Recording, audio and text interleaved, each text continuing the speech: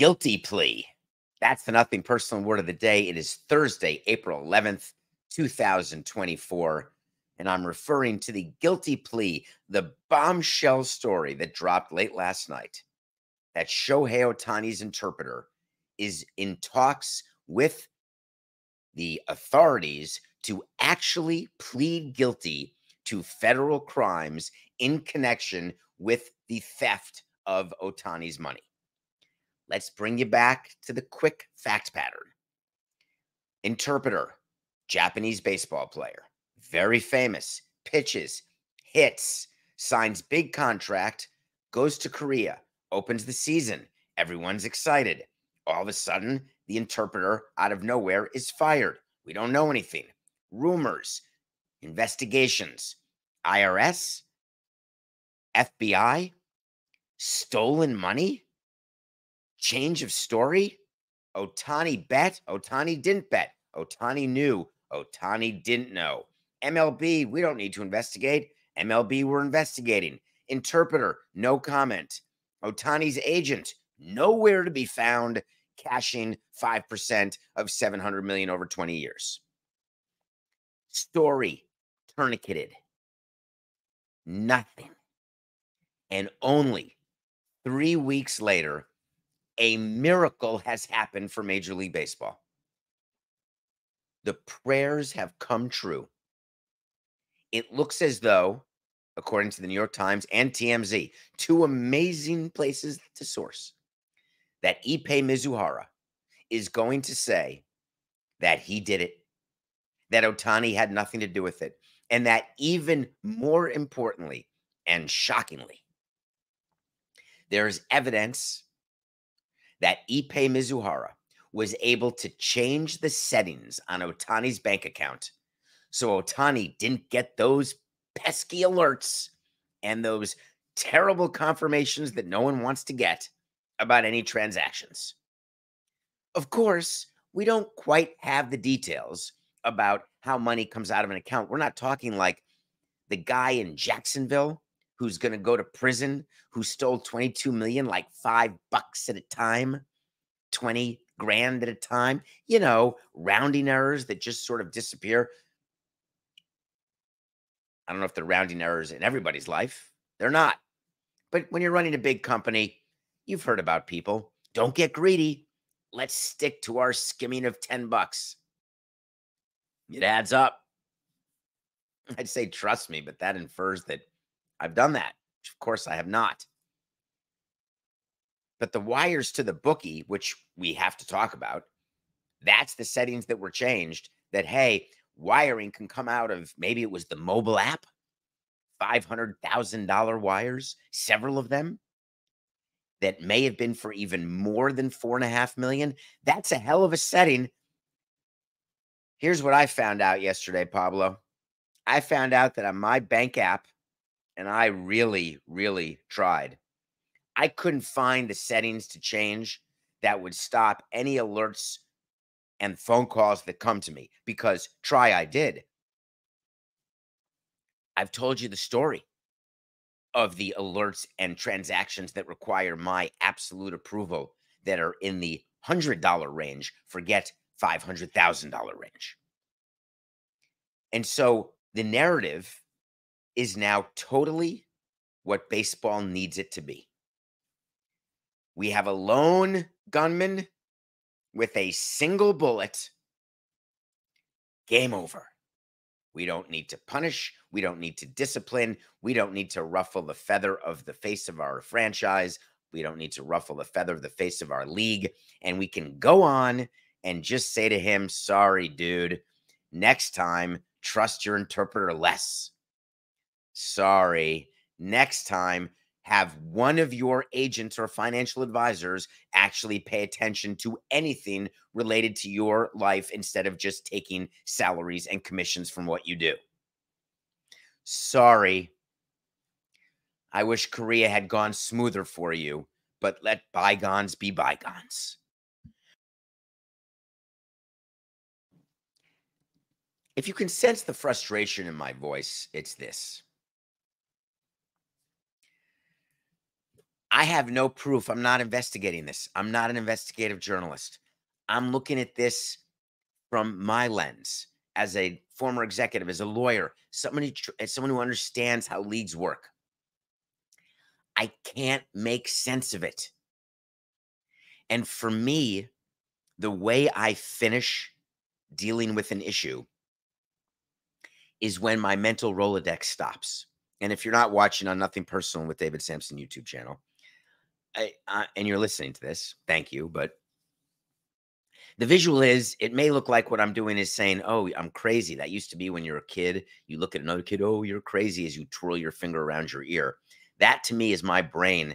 And there's an old thing called the Rolodex where you put business cards on and it's this big wheel that you turn and you keep turning the wheel till you get to where you're supposed to get to the person you're looking for. That's how my brain operates.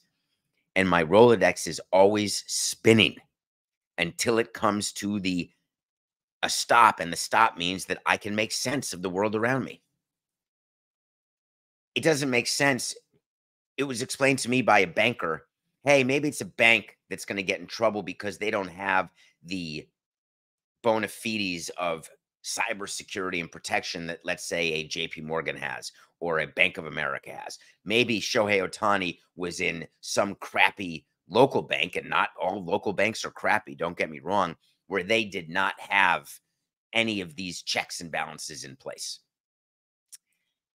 The Rolodex keeps going because that doesn't explain where his advisors and agents were. David, someone else said to me, you know, he relied on the interpreter to do everything. You can't blame him. He doesn't speak much English. So the interpreter, forget best friends, they were truly business partners. And sometimes you can't control if your business partner steals from you. No, Rolodex didn't stop there either. Because again, it's not one layer of protection that these players have. What's the lesson to be learned here? If you're going to have money stolen from you, be the face of a league and then it'll all go away and you'll make it better. I don't think that's the lesson. Do we think this would have been differently? Do you think MLB would have done dirty if it were some random roster guy? Somebody from either the US or the Dominican, let's say, or Venezuela, where money gets disappeared all the time. Kidnappings happen all the time. No, I think I got the lesson. I think the union needs to make sure with all of its players, whether they're Asian born or international born, where English is a second language, English is a third language. I think there should be a rule in place that there has to be an overseer from the union who is just a check and balance person who makes sure the agents are doing right by their players. I know that sounds amazing.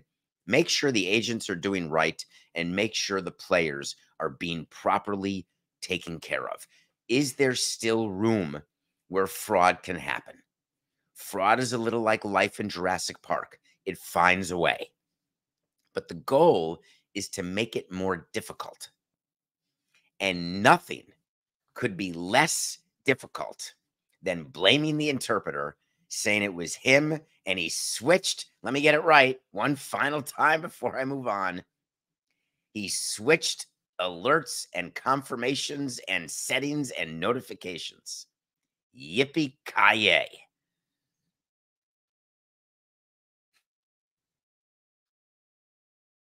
It's really hard to relocate a team.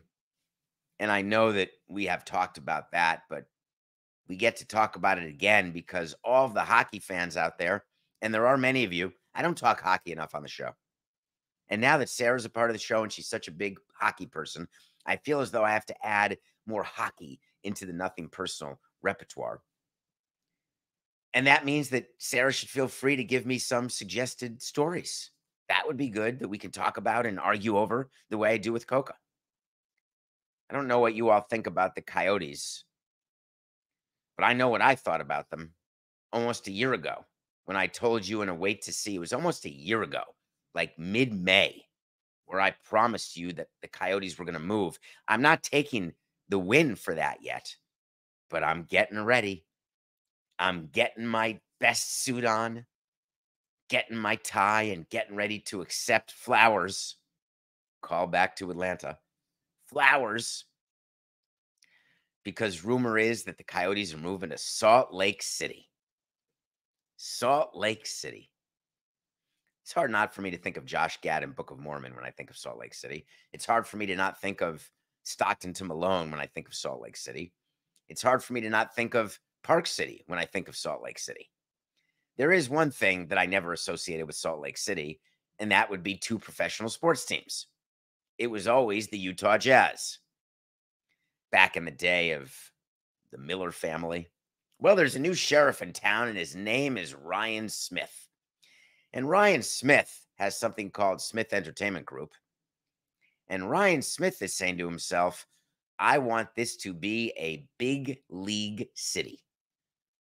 And guess what? They're about to get a hockey team because the people in Phoenix have been doing nothing but trying to get rid of their hockey team. There have been ballots, there have been votes, there have been negotiations. The Coyotes have been playing in front of a capacity 4,300 people for over a season now. An absolute embarrassment. Can you imagine a major, major league team, major professional team playing in a minor league facility for a sustained period of time? Who would ever do that? Basketball wouldn't play in a high school gym. Baseball wouldn't play in a minor league facility. Oh, hold on.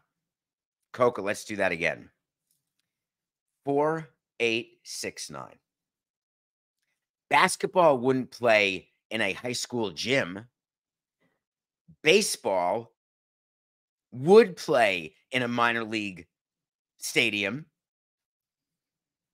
I can't say they wouldn't. They just agreed to play in Sacramento. It's a total minor league stadium. So I guess it's totally fine that the Coyotes were playing in a college arena. No, it's not fine. The Coyotes are on their last leg. They're doing some cockamamie plan right now outside of Scottsdale. And here's the plan it's quite easy. We're going to buy some land at auction and build an entire development on that land. In my experience, the only auctions that you're guaranteed to win are the ones that are fixed. Baseball knows a thing about fixing auctions. If you know, you know. Dodgers, Red Sox, fixed. I digress. The auction in Phoenix, not fixed, therefore unclear. But here's the best part I'm not sure the owner of the Coyotes even wants to win the auction other than to develop land. Here's why the NHL is going to purchase the Phoenix Coyotes from Alex Meruelo, who has been a not perfect owner. Who of us has been? Not an us. I'm a president. Who of them has been? You remember when he bought that team, they were bankrupt from their last owner. You remember the league operated the Coyotes the way the league operated the Expos. They operated them for four years and then sold the team to Alex. Now Alex is going to parlay that into a bill. You may be wondering, is that team worth a billion dollars? And the answer is no. But guess what? Owners accomplish several things. One, in hockey, you now have a the Ottawa Senators on record at a price close to a billion. You've got the Phoenix Coyotes on record at a billion. All other franchise values increase, which makes owners happy. Then you don't reward the current Phoenix Coyotes owner by allowing him to relocate. Instead, you buy the team for yourself. This is right out of the playbook that we did in 2002. You have the league own the franchise, so the league profits from the sale of that franchise. The league bought the Expos from Jeffrey Loria for 120 million and sold it for over 400 million back in 2002. That money got distributed to all 30 owners. So Jeffrey is one of the 30 owners because he was now in Florida, did get some of his own money back at one point. But I digress all of that profit, instead of going to Alex, it goes to every owner, which begs the question why would Smith in Park City, in Salt Lake City, agree to pay $1.3 million? And what's interesting is that it is cheaper for him to buy an existing franchise than it is to get an expansion franchise. And the expansion fees are not pennies. Only three years ago, the Seattle Kraken expansion fee was 650 large. So we know that that's going up. Let's say we're up to 900 million. Let's say we're up to a billion. So you're paying a billion, and then you've got to put an infrastructure in place, and you've got to do a draft and wait a couple years and then play. When you get a relocated team, you relocate the players and you start playing next year. And all of this has come out because the NHL has a preliminary schedule for next year, which has a team in Salt Lake City. Hard to hide from schedules, which is why MLB had to deal with the A's Sacramento situation so early. You've got to get a preliminary schedule. The inside the league, they're already on to next year. Very bizarre. Playoffs haven't even started. You're thinking about next year. We're going to find out what happens here. But I do have a certain thought is that when you are the commissioner of hockey, you're trying to take one fire at a time. You like a parent who has a kid who's really well behaved and then kids who are not, the kids who are not behaved take up all your time. Or when you're in school, when you want to be the class jester or the center of attention, you're the one who gets disciplined, and the smart guy in the corner gets no love or attention and can't maximize his or her potential. In sports, it's the same. The commissioner spends the most time on the teams with the most problems. Believe me, Rob Manfred is sick of the Oakland A's. Believe me. And Gary Bettman is sick of the Arizona Coyotes. I think what Gary Bettman would like to do is go back to focusing on maybe the Winnipeg Jets. The Winnipeg Jets are a team that we don't talk about really only when there's a major problem. They've got an owner, Mark Chipman, and he had a pretty good quote because they're having some attendance issues, they're having some revenue issues. And he had a good quote. He said, I wouldn't be honest with you. I hate when statements start with that. To be honest, da da da da. I wouldn't be honest with you if I didn't say that's so many negatives. We've got to get back to 13,000 talking about season tickets. This place we find ourselves in right now, it's not going to work over the long haul. It just isn't. Step one of the things aren't going well, we got to get ready to relocate is when you tell your market, hey, we have to set an unreasonable expectation. 13,000 season tickets there's about 15 teams in baseball, I bet, who don't have 13,000 season tickets. And there's probably about 10 to 15 teams in hockey that don't. And that's purely, purely speculative.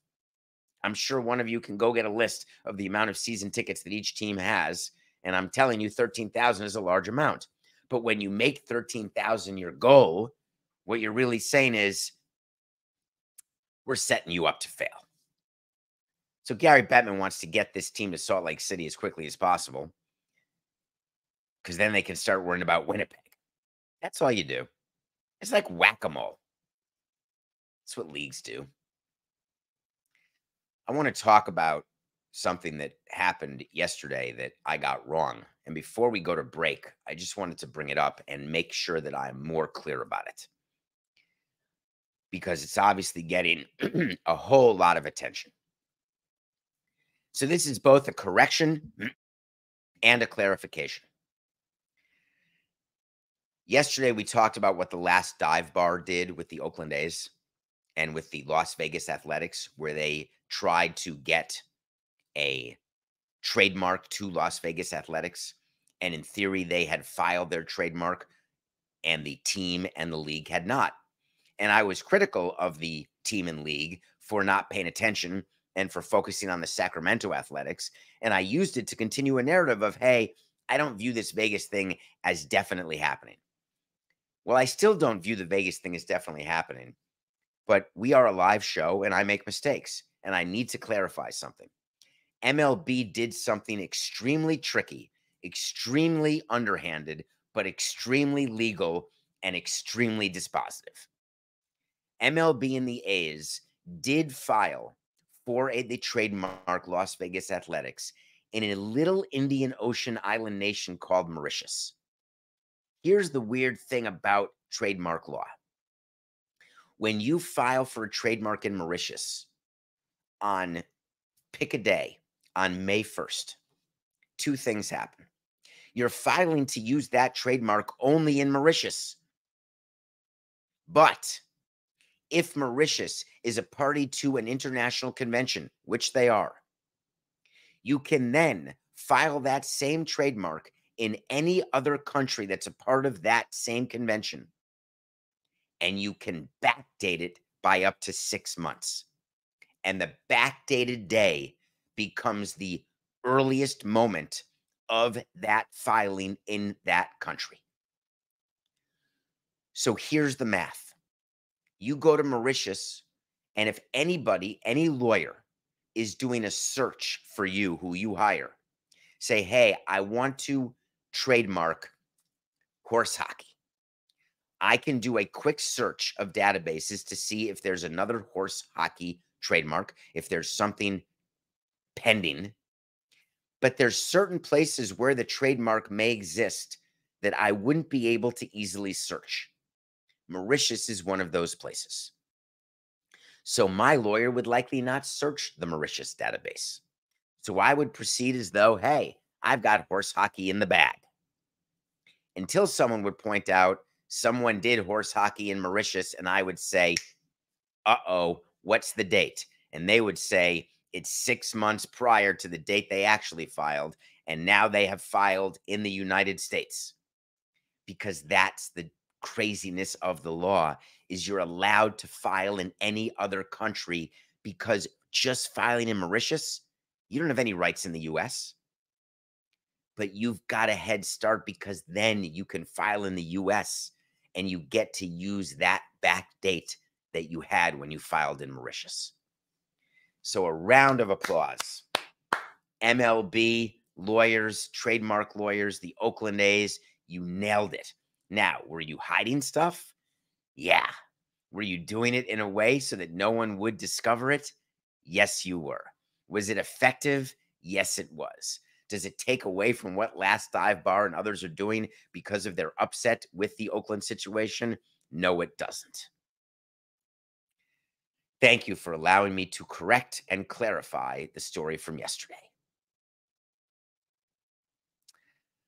Okay, I think now we're going to go to break, Coca. When we come back, it's Thursday. We get to review one of my top 100 movies. And then we're going to talk about Adam Silver and the NBA and quite a few things that he covered after a Board of Governors meeting that are going to interest you. Stick around. We'll be right back.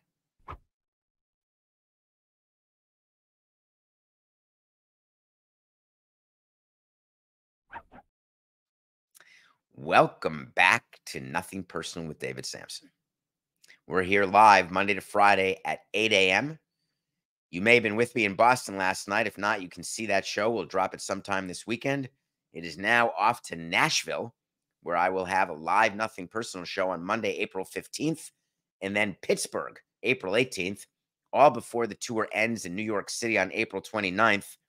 As in between, I try to run a marathon in under 10 hours in London. We got this, Coca. We got this. And we don't miss doing shows with you in the morning, even though Coca's as tired as I am. All right, let's talk about our movie. I'm still managing to watch a movie every day, which is, it really is a good thing I don't sleep much. Valley Girl. Can you put the poster up there on screen if you have it? Valley Girl, my number 88 movie with Nicolas Cage and Deborah Foreman. So a little nugget about that poster, if you look really closely at it, and I don't know how much you can zoom in, but the poster has the wrong actress on it. It's the most awesome story of Valley Girl, other than that chick Julie. She's truly dazzling. There's so many great lines from the Valley. It's about a girl from the Valley and a guy from Hollywood who's a sort of punker, and how they end up falling in love. And what you may know is that I love romantic comedies. I love when there are connections made with unlikely people. And I love when it works out in the end because in my mind, they're still together, even though the movie ends at the end of the high school prom. This movie has everything. The soundtrack is first class. The story is amazing. It's beautiful. It's wonderful. Now look at the movie poster. Guess what? That's not Deborah Foreman. Deborah Foreman plays Julie in the movie, but when they made the poster, she had not yet been cast and they never changed the poster. It's a little known fact there, Normie. If you've never seen Valley Girl, there is a new Valley Girl that has one of the Paul brothers, Coca. I can't remember which one. I think it may not be the one fighting Tyson, who plays sort of the buttoned up boyfriend from the Valley who loses the head cheerleader to this crazy punk from Hollywood. I think it was Logan Paul. That Valley Girl, hard pass. The original Valley Girl, go to it. Number 88 on my top 100. It always will be because I melt with you. All right, let's see what we're reviewing next Thursday. We have a document that was generated by one of our loyal listeners. And all Coca does is press a button, and here he goes. Press it. Hey, number 34, we're reviewing the Oscar winner from last year, Everything Everywhere All at Once. For those of you who have not seen EEAAO, I would encourage you to see it before next week. I'm going to watch it again. The first time I watched it, I thought it was fine. The second time I watched it, really, really liked it. Have not watched it a third time. Get to watch Jamie Lee Curtis and Michelle Yeoh. Excited. We'll review that next week. Thank you, Coca. Okay.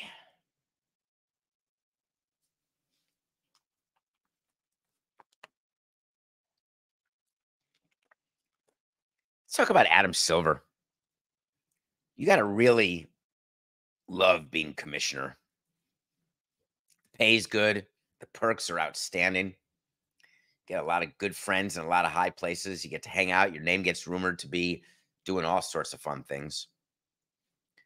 You get to be in charge of a sport you love, even if people think you don't. There are some downsides. People without money think that there's no downside for people with money. People without powerful jobs think there's no downside for people with powerful jobs. It's funny. I think all people have very similar issues you'd be shocked the problems that Adam Silver has as commissioner of basketball. The weight, and people say, oh, give me a break. He did it to himself. Eh, when you've got the weight of a sport on your shoulders, it's tiring. Have you ever looked at a picture of a president of the United States day one and then at the end of four years? Go on the Intergoogle and take a look at the way presidents age. Yes, they're the most powerful person in the world. The question is, is it worth it? Yeah, you get Secret Service the rest of your life, but is it worth it? If you take it seriously and it's not just about power and it's not just about ego, you have got a country to worry about. Everybody in the country. That's the ideal president. The ideal commissioner has to worry about not just his owners, but the teams, the game, the fans. And then you have to have board meetings, which a month, four, eight, 69. And then you have to have board meetings with a bunch of men who decide whether or not you're going to keep your job, decide what they're going to pay you, and you've got to basically give in to them while being the one who disciplines them. Have you ever figured and thought about how weird it is for Adam Silver to discipline Mark Cuban when Mark Cuban, not anymore, he's done in, with the Mavericks, where Mark Cuban would be fined by Adam Silver, but yet Mark Cuban could start a a coup against Adam Silver and have him removed? You don't think that ever factors into how commissioners think about things? Believe me, it does. Adam Silver addressed several issues yesterday the first one that I want to talk about has to do with an owner who he is very loyal to. His name is Glen Taylor. Glen Taylor is the owner of the Timberwolves. There is a major problem going on between Glen Taylor and A Rod, and you're aware of it because go back and listen to one of our prior shows. A couple of things came out about the Timberwolves yesterday. The most important one was a rumor that A Rod was going to cut payroll and that Glen Taylor was upset that A Rod was going to cut payroll and that that could be a reason why Glen Taylor wanted to cancel the transaction to sell to A Rod. It's total horse hockey. When I was selling the Marlins, I knew exactly what Jeter and Bruce Sherman were going to do with the team because I saw the financials. I knew exactly what was going to happen. And I still went forward with the transaction, knowing they were going to have to make the trades because my job was to get the most money for our owner. That was it. Did it make me happy that they were going to trade Stanton, Yelich, and Ozuna and JT Realmuto? No. But was I aware of it? Yes. When I go to contract with somebody, there are conditions precedent to a contract becoming effective. A condition in a deal can be hey, don't move the team out of Milwaukee. Hey, I still get a owner's suite plus four season tickets for the next 20 years. Hey, I'm maintaining 5% limited partnership share, but I won't ever go in the clubhouse again. You can have all sorts of different things in a transaction. Here's what would never be in a asset purchase agreement between a seller of an NBA team and a buyer of an NBA team. Hey, you got to keep your payroll where it is. Hey, you've got to stay above the luxury tax. It's ridiculous because when A Rod and Marc Lore are going out to investors, when they're going out to banks, they have to show a business plan that is financially prudent. They have to show the way Bruce Sherman did and Derek Jeter when they were getting investors for the Marlins and when they were borrowing money. They had to show a business plan that was different than our business plan, which was to lose money every year. Idiocy, but that's what we did. Glen Taylor at his payroll is willing to lose money. He's willing to pay into the luxury tax, but he doesn't go out to syndicates to borrow money. When a new buyer comes in, they've got to go to the bank, they've got to go to new investors, and they've got to show a company that actually is profitable, that won't require cash calls. Hi, I'd like to invest 100 million in the Timberwolves with you, Alex. I just have a quick question, if you don't mind, Mr. Arod. 12 months from now, will you be asking me for more money to maintain my 5% share? Funny you should ask. Young gentleman, I'm going to take the 100 million from you, but then in a year we will have lost so much money during the course of operation. I'm going to need another 10 million from you, and if you don't give it to me, you're going to get diluted. And if you do give it to me, that would be super nice of you because then we can keep all of our players. The investor would look at A Rod and say, Smell you later. I'm not going to invest in this team. I'm not going to invest in a team that loses money operationally that will require further further capital calls.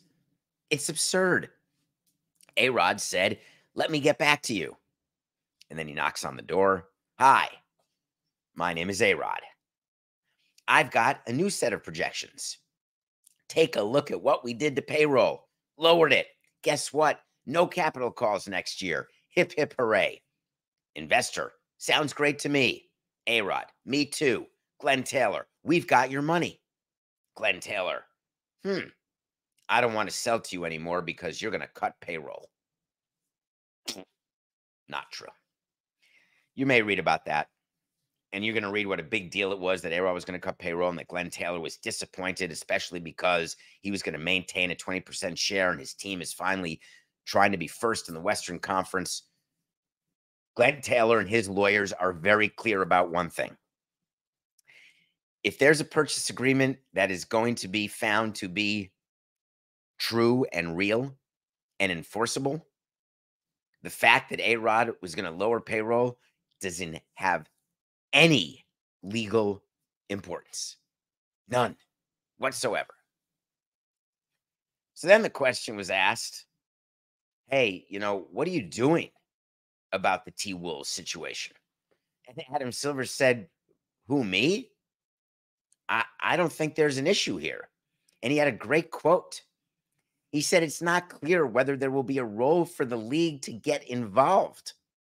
Where it stands is Glen Taylor on one hand as the seller of the franchise, and then with Marc Lore and A Rod as the buyers.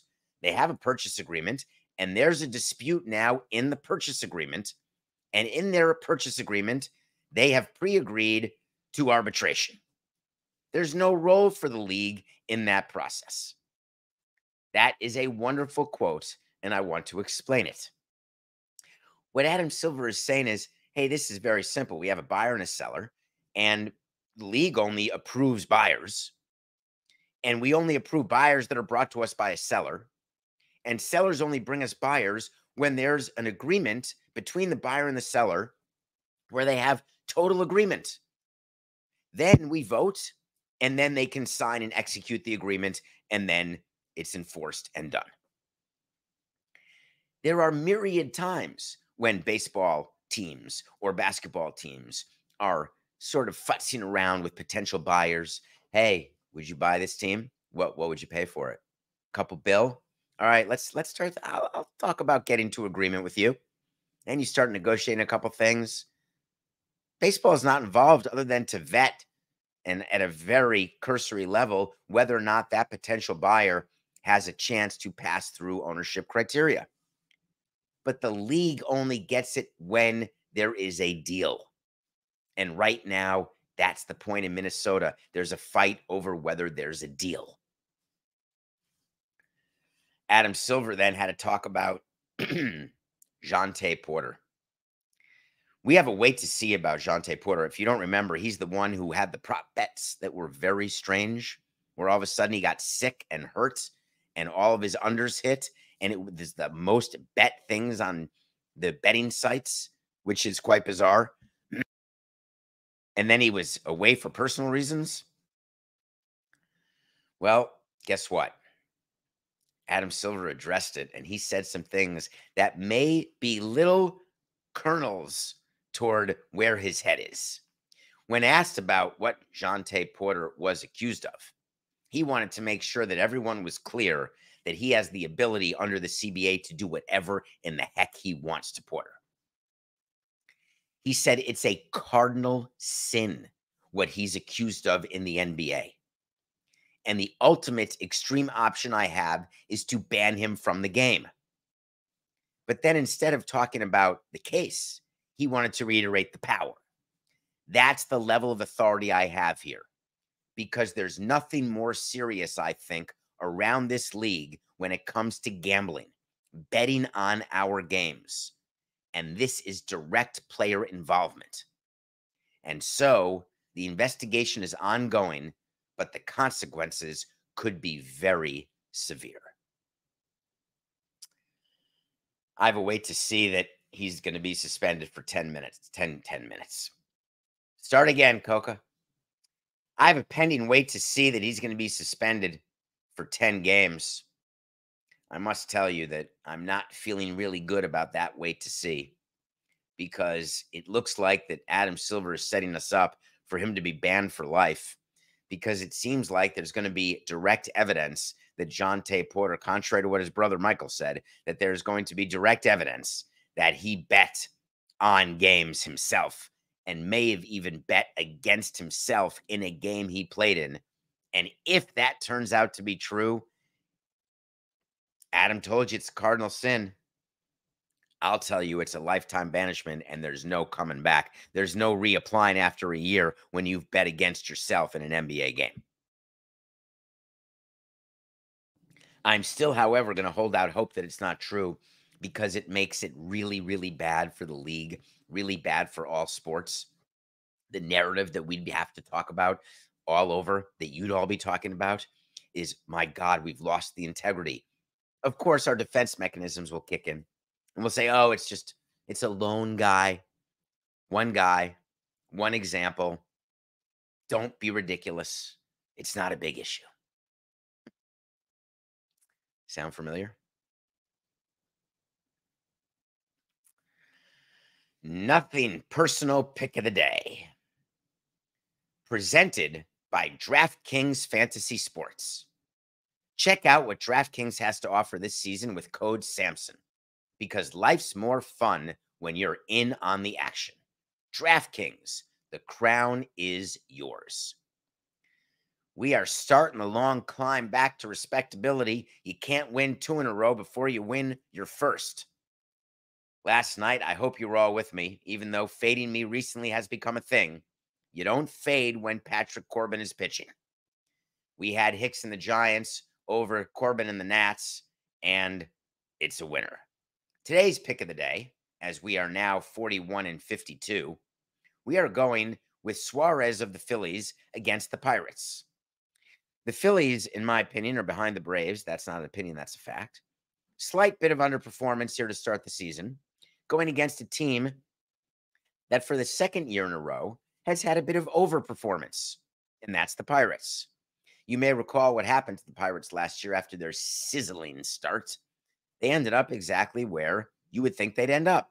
Now, I want the Pirates to stay hot as I'm going to Pittsburgh next week, and I'd love them to be playing great. Right is the live with nothing personal, nothing personal live with David Samson shows happening. But the Pirates are going to have a little bit of a stumble this evening if you've watched, people are worried about Nola's velocity. For the Phillies to win, they need Nolan Wheeler at the top to beat two aces. Suarez is pretty underrated in their rotation. He shouldn't be. You should have watched him the last year in the playoffs, last year's in the playoffs. You're only minus 148. I'm going Phillies over Pirates as the nothing personal pick of the day. The Masters starts today. That's a big one. Everyone's excited. Everyone, this is when golf's funny. Basketball, when people watch basketball, they marvel at what they can do. Wow, look at him dunk. I can't do that. When people watch baseball, they're hitting 100 miles an hour. I can't throw or hit 100 miles an hour. People, when they watch golf, they get on the golf course and they say, Oh, if I just had the perfect swing, I still could get the hole in one. I could drive the green on a par five at Augusta. I could par the 18th at St. Andrews. It's such a fun sport when you can watch it and think that you can do it. Of course, you're being totally delusional, but don't worry, I'm here for your delusion. The Masters to me is an interesting tournament I've not been to Augusta. What interests me is the way they run the tournament, the way they control the tournament. What interests me is the way they control who's a member of their club there in Augusta. They control who plays, they control who pays. Well, the irony of Tiger Woods winning in the Masters always makes me smile. I love it when a Jewish golfer would win the Masters. Makes me happy. Greg Norman is walking around Augusta right now. There's so much tension, not even about the weather. So much tension because the talk, sadly, is about LIV and PGA. There's about 13 LIV golfers out of the 89 field staff. It's a pretty big percentage, and they're coexisting. They're practicing together. They're on the range together. They're playing together. Jon Rahm, hey, I got a couple hundred million. What'd you get? Oh, um, nothing. I just got an investment from John Henry, who instead of signing Mookie Betts decided to put money into our pockets. That was nice of him. I'm totally kidding. That wasn't John Henry's choice. It's not Betts or investing in PGA. Steve Cohen was able to pay Verlander and, and Scherzer not to pitch for him and invest in the PGA. Believe me, you could do both. It's totally different. But what's going to happen between LIV and PGA? Will progress ever be made? I'm here to tell you that during a tournament like this, the talk by the media is hey, LIV officials, PGA officials, they're all together. They're going to talk, they're going to make progress. You don't make progress when you have meetings that are in the middle of events. You have meetings. MLB used to do this all the time. They would meet with the union during the All Star game. They'd have a bargaining session during the NBA playoffs. Everybody is so distracted, nothing really gets done. The real work gets done in boardrooms that are in New York or in another city where you close the doors, roll up your sleeves, and figure out is there a way that LIV and PGA can go forward together? Is there a merger that can work that we announced almost a year ago? The fact that they're together and that people are watching to listen to what players say, with Jon Rahm having quotes, every player's having quotes basically saying, hey, you know, Maybe we should be 72 holes, says LIV. Hey, maybe we should make nice with LIV, says PGA. Maybe it's bad for the game if we're not getting along. All of these are really nice quotes. I appreciate them, except they don't mean anything. What will mean something is if there is meaningful dialogue where LIV understands and PGA understands that it is only together that they can each survive not apart. And until two parties both believe the same thing, you won't get a merger. You won't get an agreement. That's why in law school and with contracts, they call it something meeting of the minds. Meeting of the minds is that two people look at the same thing and they have the same conclusion about what it is that they're looking at whether it's a contract, whether it's the color of the sky, whether it is the plan or process moving forward. Whatever the case is, a meeting of the minds is one of the most important legal doctrines that exists in contract law. It's what courts look to. Did two people think the same thing? And the number one most important thing that PGA and LIV do not have a meeting of the minds of as of yet is whether one of them can overtake the other and exist without the other. Because to date, they both think they can. And if that's the case, you're not going to have a meeting of the minds of the true point, which is that neither of them can exist without the other and that they both need each other. And that is when an agreement will finally take place.